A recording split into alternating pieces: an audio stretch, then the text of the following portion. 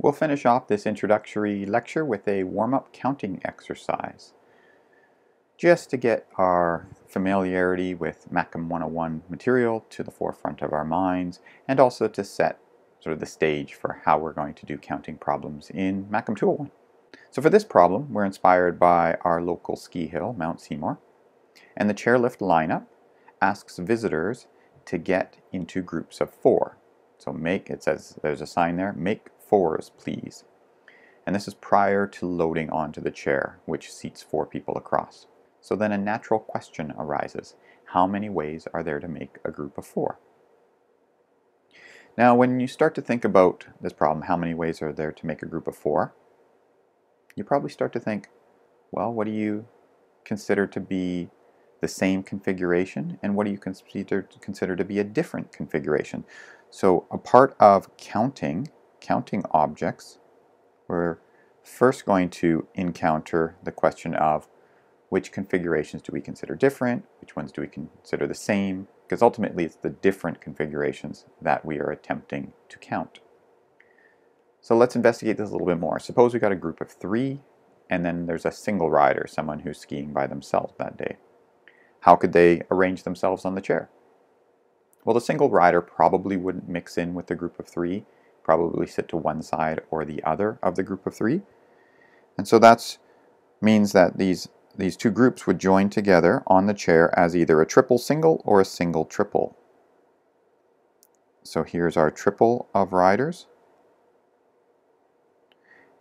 They're sitting on one side. And then we've got our single rider. In this case, they're sitting to the right of them.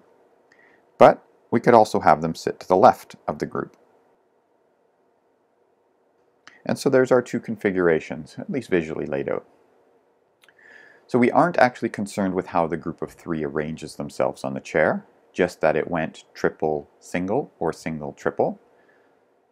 Of course, you may argue that, well, different configurations mean that those three people could arrange themselves in three factorial ways. We're not going to consider that because most of the time uh, group dynamics are that somebody always sits in the middle and someone to their left and the right, depending on, you know, if they're snowboarding, which side foot their, their snowboard is on, which is their lead foot, which side does it hang over, so they don't um, bang the front of their board against their neighbor if they if they both uh, snowboard in opposite uh, with opposite feet uh, in the front.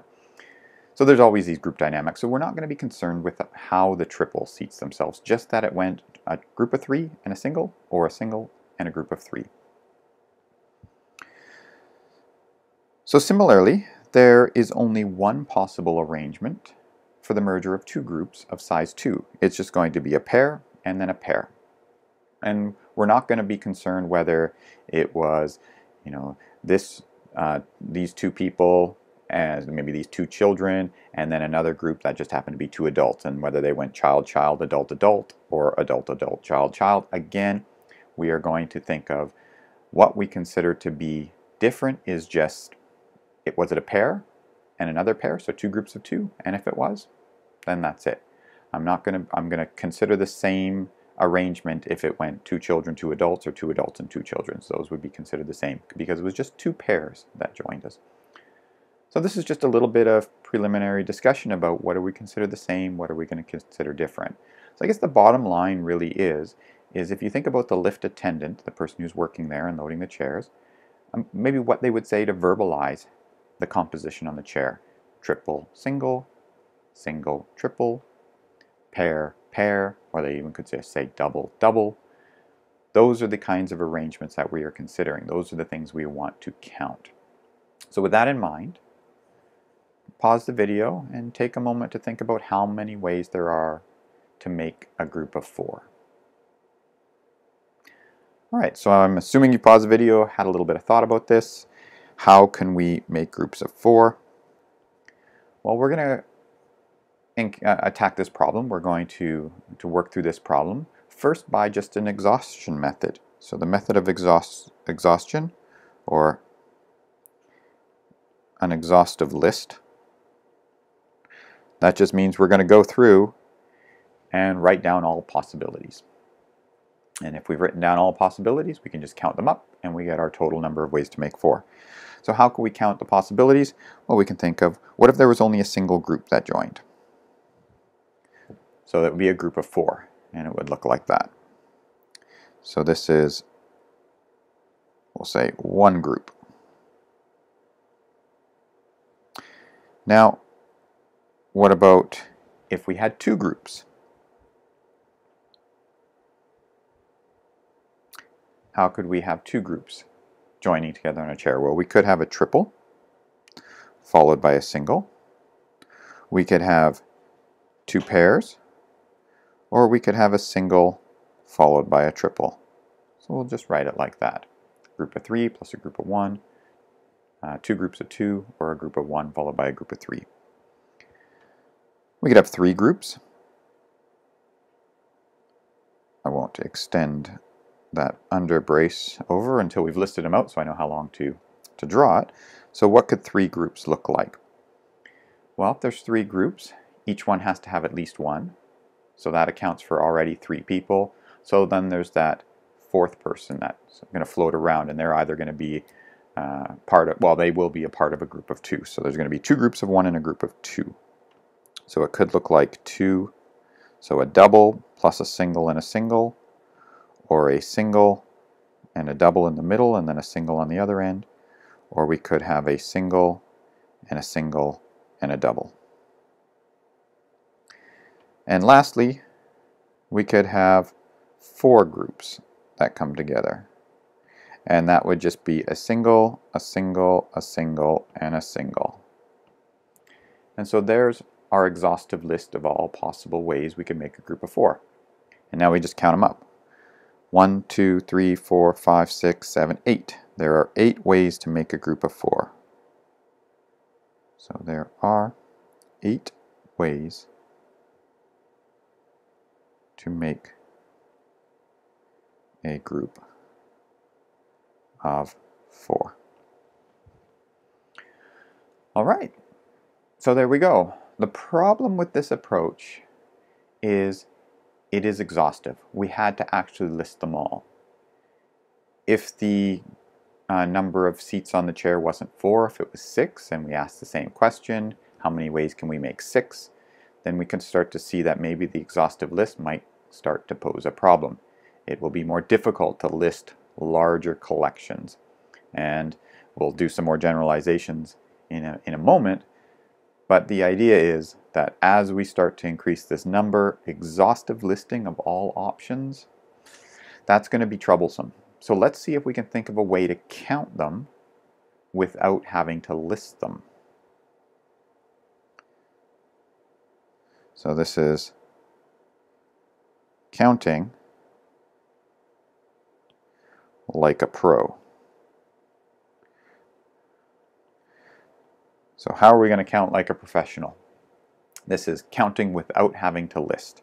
So we're going to have to think of a different way to represent the configuration. So here's what we're going to do. We're going to think of the four seats. So we've got our four seats there. And then between the four seats, we can think of maybe an imaginary divider maybe not so imaginary now. We're, we're sort of in the in the middle of a pandemic, so if someone's not part of your personal bubble, then typically there is going to be some uh, transparent piece of plastic that's between you. Think about you and, and somebody who's working in a store. There's always this barrier separating you. So maybe it's not so imaginary anymore, but what we can do is we can imagine that if we're not sitting next to somebody in our own group, then there will be a raised barrier between us. So what that means is there will be a barrier that is between each of the seats. And this barrier could be either up or down, depending on whether you were a part of the group with the person next to you or not. So this is a barrier which is up or down. So there's two states for it, up or down. And maybe we can even represent these two states. Up could be associating with it the number 1, and down we could associate it with the number 0. And so for example, we could say, you know, suppose we had, I'll pick one of our uh, configurations above in our exhaustive list, maybe that triple single. So we had a triple and a single. So in terms of our configuration, it would look like,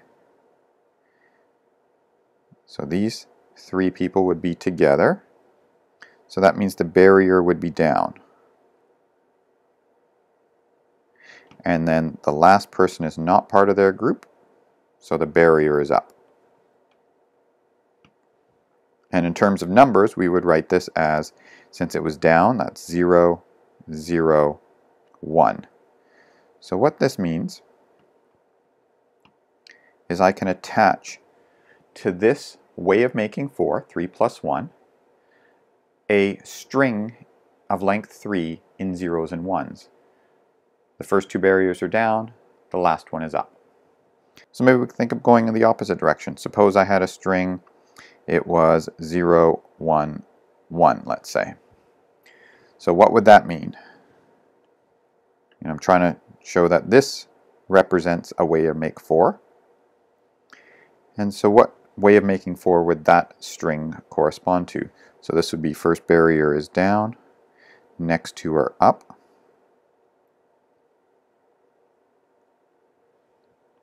So that's our 0, 1, 1. And in terms of the way of making 4, if the barrier is down, we join those, those people on both sides of the barriers together. And so this is a group of two followed by a single and another single.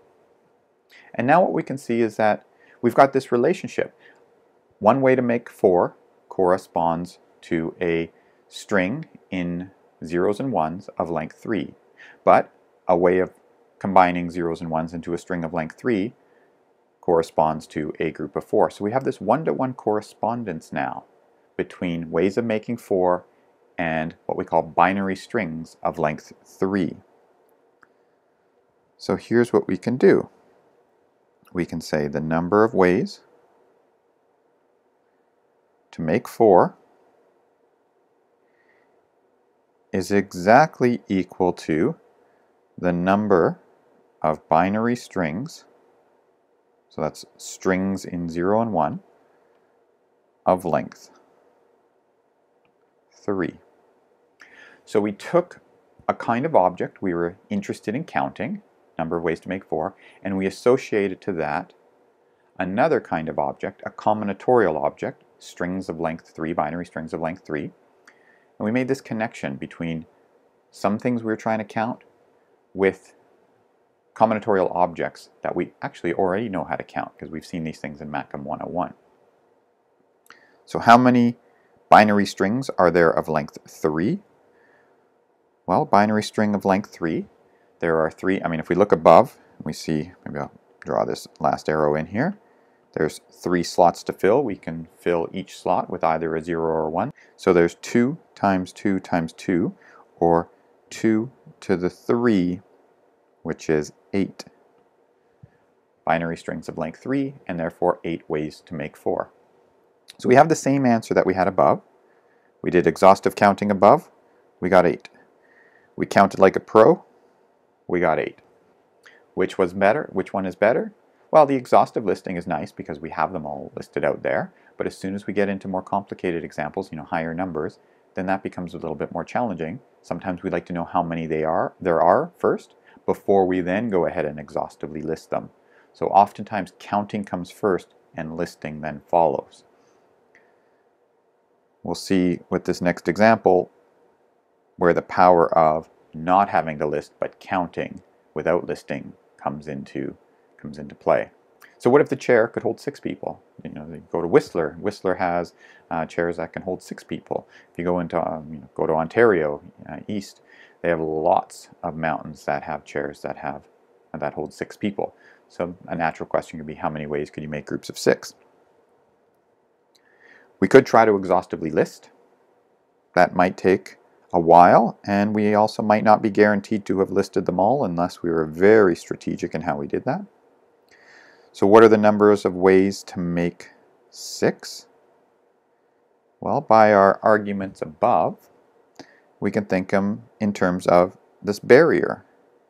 And now the barrier just exists between the people. So if there's six people there, there'd be five spots between them, so five barriers to play with. And so the number of ways to make six would be the number of ways to arrange the five barriers, which is the number of ways, or uh, the number of binary strings of length 5. And so now there's five slots. Each one could be filled with either a 0 or 1. So there's 2 to the 5 or 32 ways to make 6.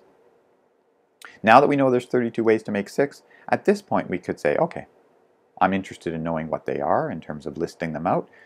This information then helps me list them. So it's not the other way around. Listing them isn't going to help me count them, but knowing how to count them first will help me in listing them because it will allow me to know whether I got them all or not. Because if I can write down 32 of them, I know I haven't missed any and I got them all. Let's generalize because in, as mathematicians we like to generalize results. We like to generalize them um, just so, for example, in this case, we want to be able to see what can happen when the number of slots goes up. So now maybe the question is, let's make 100s, please. How can we do that? In this case, exhaustively listing is pretty much out the window as a, as a, uh, a viable way of getting them. Uh, there's just too many. So how can we count them without listing? We can use our same process we had before It's just going to be the number of binary strings there are of length 99 and the number of strings there are of length 99 is 2 to the 99. And so there we go. We've come up with, from what started with a, an, a, an original problem about trying to count some type of object, how many there are, and through thinking through a process of um, assigning for one of those kinds of objects another combinatorial object we are familiar with, in this case binary strings. Then we can count the number of objects we're interested in by go ahead and counting the number of binary strings. So binary strings are one kind of combinatorial object. In the first few lectures of this course, we will go through the kinds of combinatorial objects we'll be interested in this course. Binary strings will be one of them, but there'll be other combinatorial objects as well, and we'll get some familiarity with those combinatorial objects that will be used throughout the rest of the course. So the first few lectures are going to be introducing you to all the combinatorial objects we will be using in this course. All right, so that's it for the introductory lecture and the warm-up problem. We will see you in the next lecture.